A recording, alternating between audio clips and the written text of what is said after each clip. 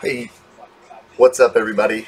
This is uh, Danny, aka OLB, and uh, hey, just wanted to um, take a few minutes, make a kind of quick video on what's been going on lately. So, uh, new consoles came out. That's the uh, Xbox and the PlayStation. Got both of them. Uh, yeah, I'm lucky. You can see them. I'm sorry, everything's backwards. Right up there. That's the boxes.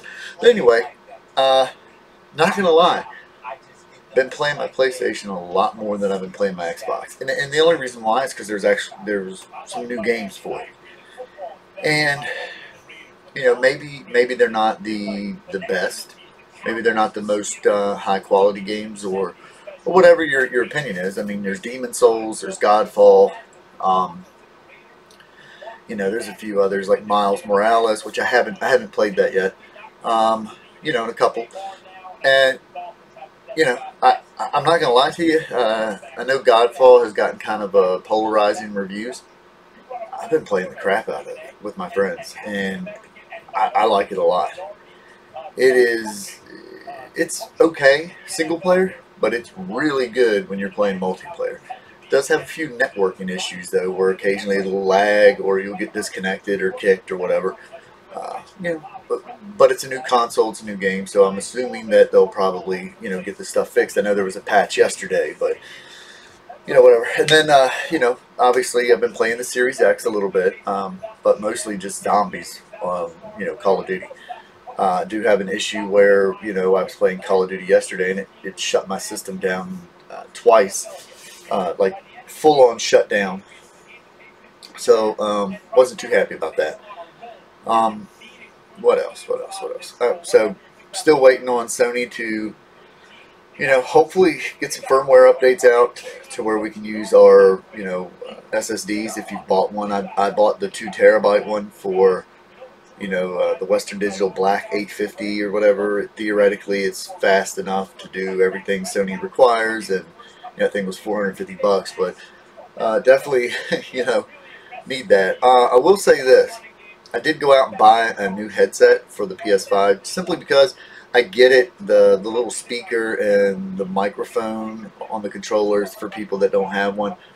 Uh, but it sucks. It really sucks. Like, you can barely hear anybody, uh, even with the speaker volume all the way up. Um, the mic works surprisingly well, but the speaker itself is terrible. Um, yeah, so you definitely probably want to do that. I did finally pull out my Series 2 Elite controller to pair up to my Series X. You know, haven't done it. I just I, I need some games for the Series X. That's that's the biggest problem. Like I I love backwards compatibility and, and all that. I get it, and you know this goes for Sony too. But I didn't buy your new console to play old games. You know, it, it's nice to do that, and you know there's times when you're like, hey man, I want I want to play a game. Um, you know, I want to I want to do this or this or this, whatever. But that but the the initial launch is not why we we we buy these consoles. You know, just to play old games. We buy them for the new games, and you know, I've seen people like, "Oh, this is the best PlayStation launch lineup ever. This is the best Xbox lineup." I don't know what y'all are getting, but it is not. Like, man, I I've been a gamer since the you know Atari, and I remember Nintendo, Super Nintendo, PlayStation.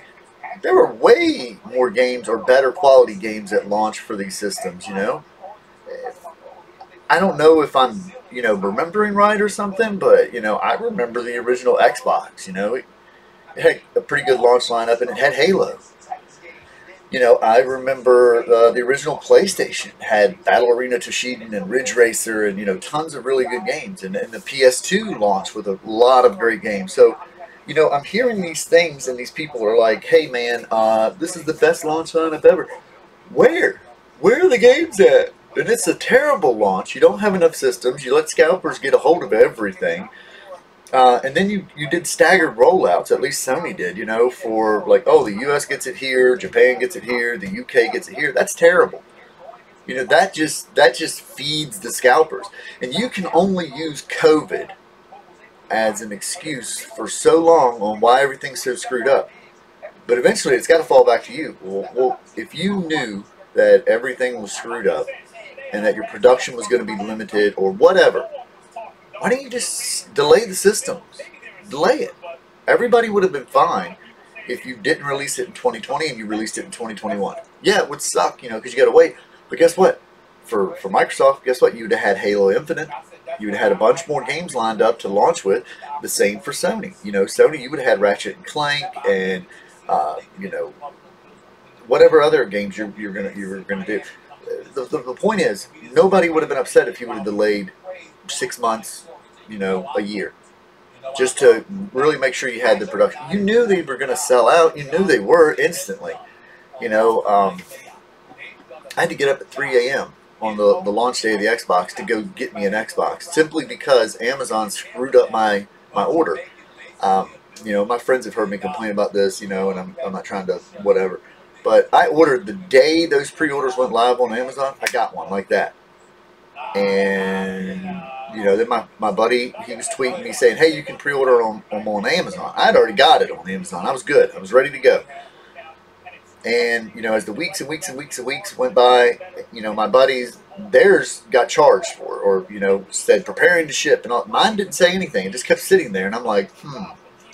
So the day before the launch, I call Amazon. I'm like, uh, what's going on with my launch here, you know, with, with my system? And they're like, oh, it's a problem with your credit card. I'm like, that's funny. It's a it's an Amazon credit card. And they're like, no, no, no, you need to call your bank. I said, no, it's an, an Amazon credit card. And the guy's like, oh, it's an Amazon Visa. And I'm like, yeah. He's like, oh, let me check on this. So he puts me on hold for a couple minutes. He comes back and he goes, oh, I talked to the fulfillment center. There's no consoles available. I'm like, well, no, no crap, man. Like, I know that. That's why I'm calling you because I had one pre-ordered. And, uh, you know, he's like, well, you know, it goes off fulfillment centers and if your fulfillment center got it. And I'm like, are you are you that dumb? Like, there's like 15 fulfillment centers or whatever, you know, are all around me within a couple hours of each other. You mean to tell me that in this area of Virginia that nobody ordered an Xbox off Amazon? I no. You guys screwed up, just like Walmart, Best Buy, Target, everybody. You guys screwed up. You know, Sony's thing was a complete catastrophe. And then Microsoft was like, hey, we're announcing ours, you know, on this date so that you can pre-order, you know, but theirs was a disaster. Here was my thing. Why didn't you open pre-orders months and months and months ago? You know? Why didn't you do that? Because then at least people would have realized they weren't going to get one, or at least there could have been waves of shipments and people would have known. You know, you could have felt out the supply demand and been like, man, we, we're, there's 5 million Xboxes, 5 million PlayStations that people want we need to get these, you know, in, in, in staggered ways. So anyway, I had to get up at 3 a.m. and, you know, got to a GameStop. Ton of people there. Got to another GameStop. There's people sleeping on the ground there. Drove an hour north to the next city over and got to the GameStop at 7 a.m.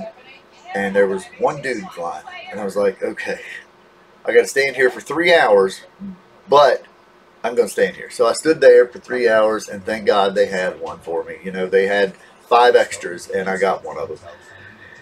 But, you know, you shouldn't have to do this, you know, and I've seen some videos from, like, Jim Sterling and all these other people, you know, that, you know, they, they make a living off doing game reviews and game videos and stuff like that. So they're, you know, it's hurting them out because they couldn't even buy a console.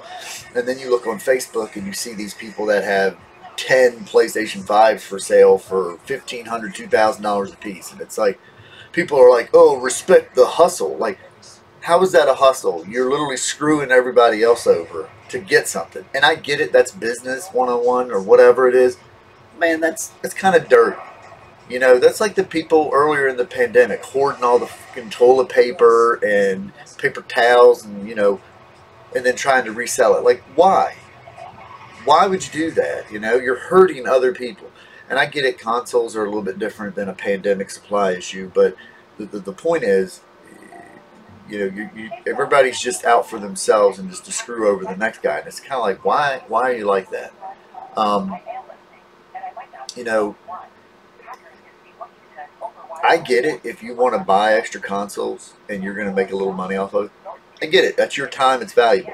But when you're selling it for three, four, five, six times the the, the price of you're you're not you're not in a, a business. You're capitalizing off people's misfortune. And then, you know, the other problem is you've got these people that were using bots that were just completely crashing websites, downing them, and just destroying anybody's hope of getting one. Uh, you know, I got invited direct from Sony to buy one, and I had to sit in the queue uh, for an hour before I was even could place an order. And then I only had 10 minutes to get my console and any other accessories or games that I wanted to buy. Um, you know, that was it, it wasn't bad. You know, I, I got, um, let me show you here. I, I've got this. I've got the, the new iPhone 12 Pro Max, right? That was up for pre-order. I got an email from Apple, and it was like, hey, do you want to pre-order this? You know, okay, yeah, go on the Apple Store. Um, you will have a time, you know, on this day to pre-order. We're gonna, you know, whatever. So on the sixth, I was allowed, you know, I got a, a thing, a notice on my phone. It said, hey, go ahead, you can pre-order now. Went in, pre-ordered, done. No, no website crashing, no fighting for people, nothing. It was easy. Like, why can't anybody else do that? And I'm not saying that Apple invented that or that they've always had seamless or smooth because they haven't. But I'm just, I'm using that as an example. Why couldn't you just do that? Why couldn't you just, um, you know, send out a thing and say, you know, these times is when you can pre-order. That's it. I know you would have still ran into botters and fake emails and all this stuff with people still trying to get more than one console. I get it. But it, I think it would have been a lot more streamlined if you would have just took a little extra steps. I feel like, you know, Sony's was worse than Microsoft's simply for the fact that they knew that Microsoft was was that Monday or Tuesday or whatever it was, and Sony did their little press conference on Thursday, and it was like, oh, you can pre-order now, and it was like, well, hey man, that uh, that that kind of screwed everybody over. Websites, you know, were crashed, and stores didn't even know what the hell they were doing, and it was terrible. And you know, it just goes along with 2020. I mean, it's been a crap year, so that's my thoughts on things going on lately. So um, I'd definitely be interested to know what you guys' thoughts are you know, definitely drop me a, a, a comment below, and uh, I'll catch you on the next one. Appreciate it, everybody.